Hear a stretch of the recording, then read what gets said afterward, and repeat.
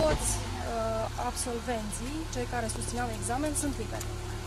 Deci nu au fost decât învinuiți, n-au fost inculpați, n-a început urmărirea penală împotriva lor, deci toți sunt liberi. Care sunt persoanele acuzate? N-aș putea să vă spun o listă lungă. Mulți au fost audiați, deocamdată sus mai sunt doar domnii de la, de la liceu, de la liceu Podul Turcu, respectiv doamna secretară, domnul director și doamna vice, cred. N-aș putea să vă spun exact, pentru că abia au fost aduși acum. Dumneavoastră, ce rol aveți în această poveste? Apărător, unia dintre ei. Ca dumnealor, dacă aveau probe atât de certe și de multe, vă dați seama că nu mai așa nimeni de acolo, da? Măsura reținerii este o măsură legală care se poate lua foarte ușor și care la noi spun eu că se ia chiar mai mult decât uh, trebuie. Sunt Dar la... implicați și inspectori școlari? Nu cunosc acest aspect. De unde a pornit informația? Cine a reclamat această A poveste? fost un denunț. A Din fost un partea unui denunț. absolvent? Așa credem. Deci vă, vă, vă dați seama că nu știu foarte multe față de dumneavoastră la acest moment. Eu am intrat în sală cu inculpatul meu, cu inculpatul, nu cer scuze, cu învinuitul, v-am spus că nu există încă inculpare. Și uh, după ce i s-a adus la cunoștință învinuirea, și anume 255 de ani de mită și legea infracțiunea specială, după care a fost... uh, De mită a dat. nu știm niciun quantum. Deci nu știm nimic. Nu s-a dus la cunoștință o sumă. S-a dus la cunoștință învinuirea și a fost rugat să dea declarație dacă are ceva de spus sau să tacă. Eu, sincer, am... cumva dacă s-au găsit sume mari de bani? Nu cunosc absolut nimic. Deci este un, deocamdată, ținut foarte secret. Totul, toată lumea e în mișcare și... Dar n-aș putea să vă spun la acest moment. Credeți Deci este- că secretomania este din cauza că probele sunt foarte subțiri? Sincer, da. Sincer, da. Deci au fost dosare răsunătoare la Bacău, unde oamenii au fost reținuți și unde, într-adevăr, instanța n-a dat propunere de arestare, dar în seara respectivă s-au făcut rețineri. Este cazul mitei în primărie și îl știți cu toții, nu e niciun Puteți să ne secret. spuneți cât a durat uh, astăzi? De, de la ce oră a început povestea și... Deci, domnii am înțeles că au fost luați din sălile de examen. În jurul orei 12, 12 și un sfert s-a intrat de către mascați și lucrători ai poliției. Uh, au fost ridicați în special, deci 13 absolveți am înțeles că au fost aduși. În general, cei care au rămas ultimii în săli, în sălile de examinare. Știm cu toții, nu e un secret faptul că n-au voie să iasă dacă au rămas trei în sală.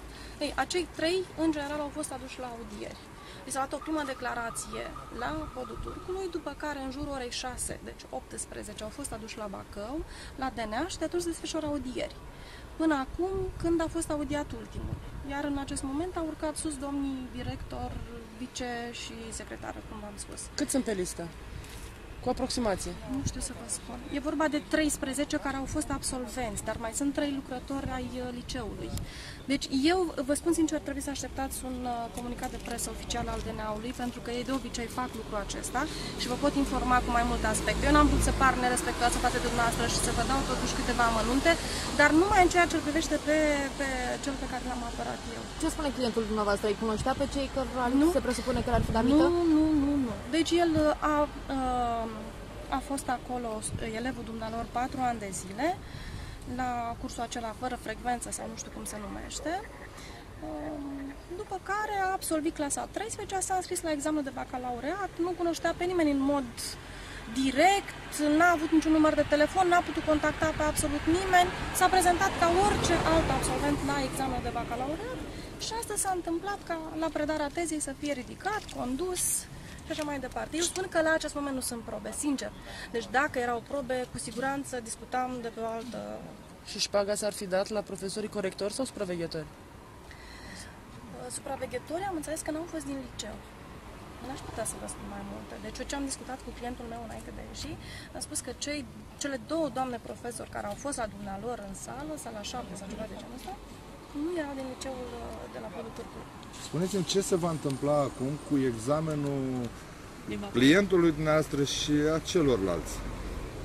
La acest moment va continua. Din punctul meu de vedere, nu este niciun impediment, nu s-a luat nicio măsură, nu există o restricție. riscul să se... A fost lăsat Anuleze? Deci să termine lucrarea? Da, clientul meu deja predase lucrarea când au intrat organele de poliție. Am înțeles că era unul din cei trei care rămăseseră în sală și era în momentul de predare a lucrării. Deci, din punctul meu de vedere, cred că sunt lăsați să continue. Nu cred că are cineva Deci un interes. considerat, mă scuzați, clientul dumneavoastră care are nevoie de avocat. dacă nu...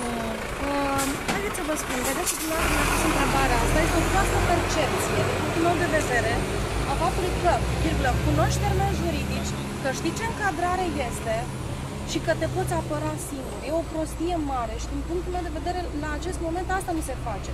Nu se merge pe ideea că, domnule, dacă am nevoie de instalator, merg la instalator, dacă am nevoie de cizmar, dacă ai nevoie de avocat, dacă ești adus la DNA, DNA așa e o sperietoare, nu?